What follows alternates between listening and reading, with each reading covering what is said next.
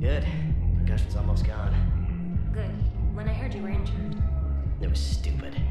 I should have ducked when that wall came down. Something good has come out of all this, though. Got new equipment. Sent me a set of Vortex armor. Man, somebody in supply sure messed that one up.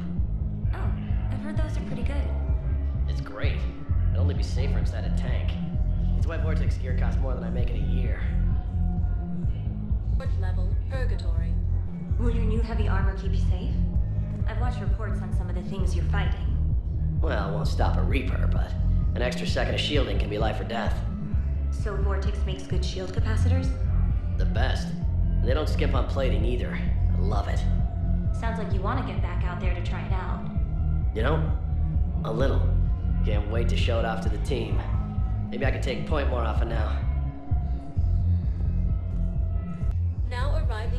arriving fourth level, Purgatory.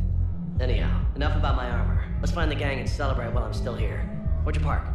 I took rapid transit. Come on, you have the fanciest ride on the Citadel. And I saw that new paint job. I, uh, I sold it a couple of weeks ago. What? But you loved that car. I know. You never shut up about that car. I know. Now arriving at ward level, Purgatory. Wait, wait.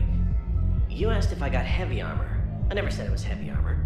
Uh, And since when do you know anything about shield capacitors? I read about them. Did you say you sold your car a few weeks ago? Because that's around the time I got sent this new armor. Hey, hey, it's late, and I'm not letting my friend miss a night of purgatory, right? You want to go in, or do you want to talk about my car some more? No, you're right. Let's go in. And I'm buying you some goddamn drinks.